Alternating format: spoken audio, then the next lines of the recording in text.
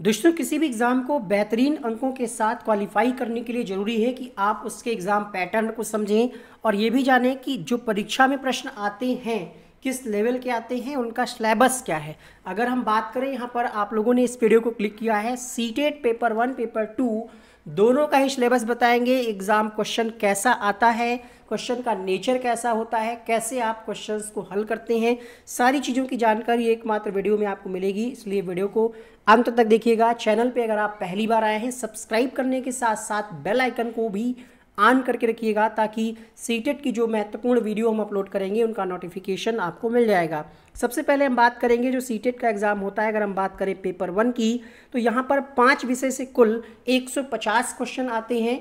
Negative marking अभी तक नहीं है। पहले ये परीक्षा ऑफलाइन होती थी, तब भी निगेटिव मार्किंग नहीं थी। अभी भी निगेटिव मार्किंग का प्रावधान नहीं है। इसमें आपके जो क्वेश्चंस आते हैं, लगभग 50 50 परसेंट जो क्वेश्चन होते हैं, वो शिक्षण पर आधारित होते हैं पैडागोजिकल इश्यूज़ पर आधारित होते हैं और 50 परसेंट जो क्वेश्चन होते हैं, वो फैक्ट पर आधारित होते हैं। यहाँ पर अगर हम बात करें तो बाल विकास एवं शिक्षा शास्त्र, जिसके 30 क्वेश्चन आने हैं, इसका डिटेल सिलेबस आपको इसी वीडियो में बताया जाएगा। गणित की बात करें तो 30 क्वेश्चन आने हैं, जिसमें 15 क्वेश्चन आपके होंगे, जोड़ घटाना गुड़ा भाग और ज्यामिति से, और 15 क्वेश्चन आपके होंगे पैडागोजी से।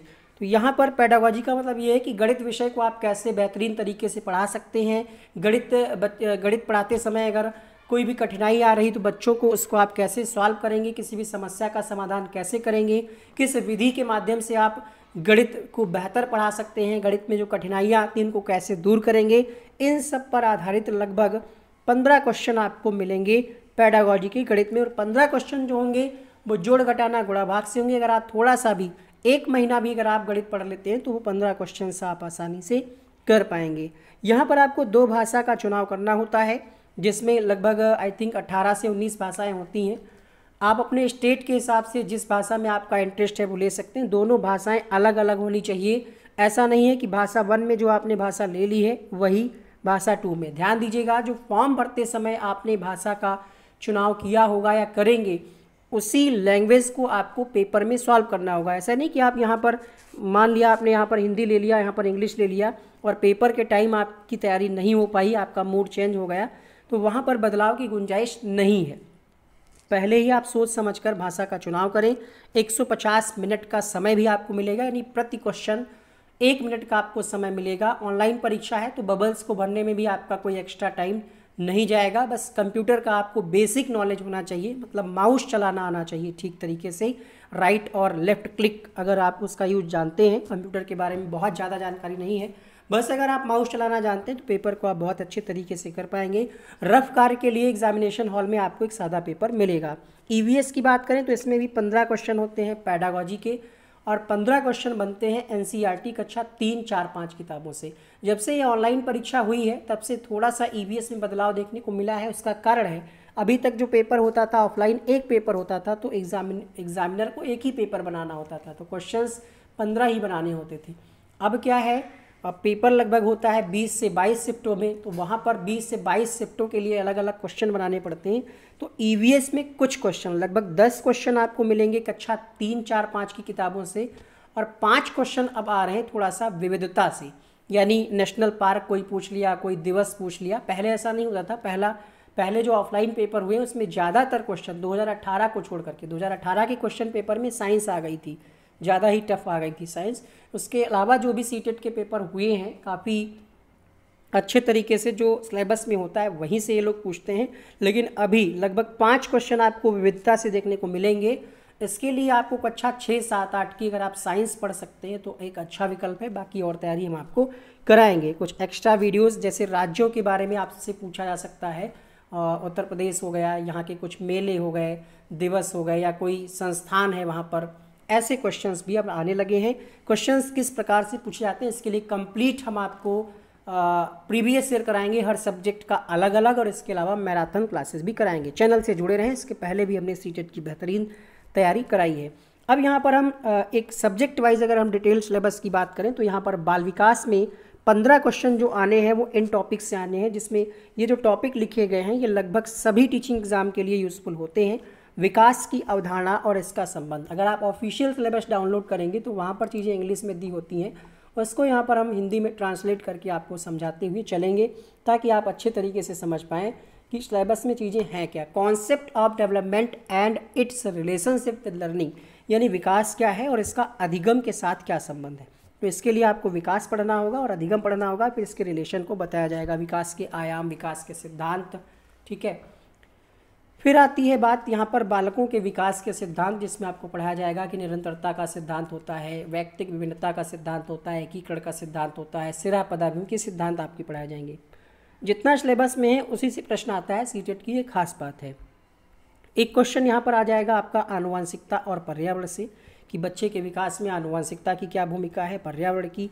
सामाजिकरण से एक प्रश्न आ जाएगा कि सामाजिकरण में प्राथमिक कारक कौन सा है गौड़ कारक कौन सा है, या फिर सामाजिकरण से संबंधित एल्बर्ट बंडूरा का अगर कोई सिद्धांत है, सामाजिक अधिगम का सिद्धांत, या समाज में किस तरीके से बच्चे को हमें प्रेजेंट करना है, वो सारी चीज़ें आपको इसमें देखने को मिलेंगी। पियाजे कोहलबर्ग वाइगोत्सकी को अगर हम मिला लें तो डेढ़ सौ क्वेश्चन का जो पेपर होगा, उसमें लगभग दस क्वेश्चन आपको इन तीनों टॉपिक से मिलेंगे। दस से पंद्रह भी क्वेश्चन हो सकते हैं, क्योंकि कई बार क्या होता है मैथमेटिक्स की पैडागॉजी में हिंदी की पैडागॉजी में यानी लैंग्वेज की पैडागॉजी में भी जीन पियाजे कोहलबर्ग वाइगोत्सकी से प्रश्न आ जाता है। तो दस से पंद्रह क्वेश्चन है इस पर टॉपिक वाइज थ्योरी और प्रीवियस के क्वेश्चन का भी वीडियो आपको मिलेगा। इससे पहले भी कराया गया है प्लेलिस्ट में जाकर के देख सकते हैं। तीसरा अगला यहाँ पर टॉपिक है बाल केंद्रित शिक्षा क्या है? प्र, प्रागामी यानी प्रगतिशील शिक्षा क्या है? जॉन डीवी ने इसका समर्थन किया इसको आगे बढ़ाया। इसके अलावा बुद्धि से, आपसे दो से तीन प्रश्न पूछा जा सकता है। हार्वर्ड गार्डनर से एक प्रश्न ज़रूर आता है, इसीलिए यहाँ पर अलग से दिया गया है। बहुआयामी बौद्धिकता multi dimensional intelligence Howard Gardner ने बुद्धि के कई प्रकार बताए, उससे एक प्रश्न आता है। इसके अलावा भाषा और चिंतन। इसके बाद जो लैंगिक पूर्वाग्रह है, समाज निर्माण के रूप में लिंग की क्या भूमिका है, ये आपसे पूछा जाता है। फिर बात करते हैं यहाँ पर असेसमेंट की। अधिगम के लिए मूल्यांकन, अधिगम का मूल्यांकन, इसके बीच में अंतर, ठीक है, ये यहाँ पर आपका पंद्रह नंबर इससे आता है। पाँच क्वेश्चन आपके आते हैं समावेशी शिक्षा से। इसमें आपकी अधिगम संबंधी कठिनाई जैसे आप पढ़ते हैं डिस्कैलकुलिया डिसलेक्सिया ये सारी चीज़ें आ जाती हैं। इसके अलावा सृजनशील बालक, विशिष्ट प्रतिभा वाली, प्रतिभाशाली बालक, इन सब के बारे में, इनकी आवश्यकताओं को आपको समझना है। किस प्रकार की शिक्षण विधियों का प्रयोग करना है, इन सब की जानकारी आपको इससे संबंधित पढ़ाई जाती है, ताकि आप बच्चे के बिहेवियर को अच्छे से समझ सकें, उसका आकलन और मूल्यांकन भी ठीक तरीके से कर सकें। इसके बाद अधिगम का चैप्टर है, जिससे दस प्रश्न आते हैं। आपको अधिगम अच्छे से पढ़ना है, अधिगम के सिद्धांतों को पढ़ना है। सीटेट के एग्ज़ाम में थांडाइक पावलाव और इनसे कम प्रश्न आते हैं। पियाजे कोहलबर्ग वाइगोत्सकी से ज़्यादा आते हैं बट आपको फिर भी अधिगम है। अधिगम आपके सिलेबस में है तो आपको स्किनर पावलाव थॉन्डाइक की थ्योरी बेसिक आपको पढ़नी होगी। बालक किस प्रकार से सोचते हैं? इसके अलावा अधिगम के बारे में एक समस्या समाधानकर्ता के रूप में बच्चे की यहाँ पर भूमिका, ठीक है, संवेग और संवेदनाएँ, प्रेरणा और अधिगम, इससे प्रश्न आता है। अधिगम में कौन कौन से कारक योगदान देते हैं, निजी और पर्यावरण, इनकी बात की जाती है। भाषा की अगर हम बात करें, कोई भी भाषा हो, हिंदी, बंगाली, संस्कृत, उर्दू, पंद्रह क्वेश्चन पैडागोजी पंद्रह क्वेश्चन पैराग्राफ बेस्ड कई बार ऐसा भी होता है कि दोनों पद्य के ही पैराग्राफ आ जाते हैं और दोनों कभी कभी गद्य के भी देखने को मिल जाते हैं। पैराग्राफ अगर आपको समय है तो आप एन e की किताबों से प्रैक्टिस कर सकते हैं, वरना मार्केट में बहुत सारी बुक्स हैं। जहाँ से आप प्रीवियस ईयर के पैराग्राफ से काफ़ी प्रैक्टिस कर सकते हैं।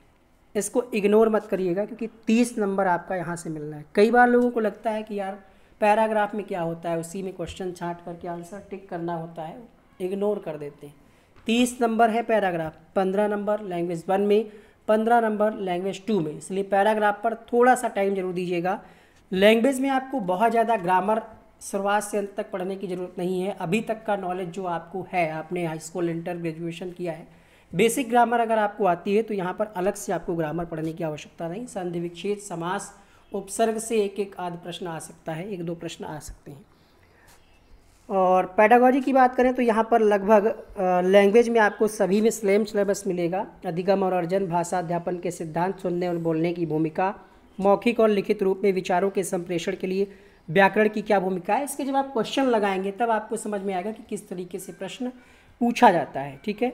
तो पंद्रह क्वेश्चन पैडागोजी और पंद्रह क्वेश्चन आपके आ जाते हैं पैराग्राफ्स इसमें भाषा कौशल कितने होते हैं, ग्रहणात्मक कौशल कौन से हैं, और यही सारे प्रश्न आपको देखने को मिलते हैं। इसके अलावा कई बार अधिगम संबंधी विकार से डिसलेक्सिया या भाषा संबंधी विकार से प्रश्न आ जाता है। यहाँ पर देखा, लिखा गया है, दो अनदेखे गद्य अनुच्छेद, जिसमें बोधगम्यता, निष्कर्ष, व्याकरण और मौखिक योग्यता से संबंधित प्रश्न होंगे व्याकरण में यहाँ पर संधि, समास और कई बार प्रश्न आ जाता है। उपसर्ग प्रत्यय से एक दो पर्यावाची से प्रश्न कभी कभी देखने को मिलते हैं।